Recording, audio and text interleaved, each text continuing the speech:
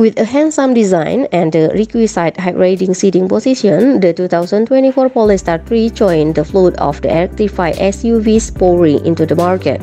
Volvo's spin-off EV brand has produced only cars to date, though the Polestar 2 could be seen as either a tall car or a low-riding SUV. There will be no such uh, confusion concerning the 3 which will go on sale sometime in 2023.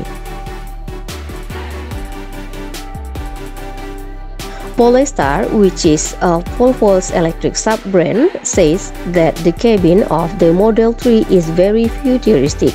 They also reveal that buyers can expect a very spacious cabin that has enough room for up to 5 passengers. In general, we expect the new Polestar 3 to follow a similar aesthetic as the Polestar 2 S cabins.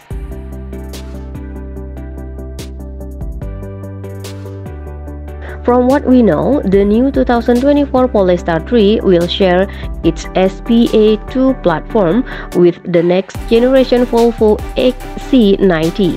However, unlike the XC90 model, the Polestar 3 will be a performance SUV that will be powered with either single or dual electric motor setup.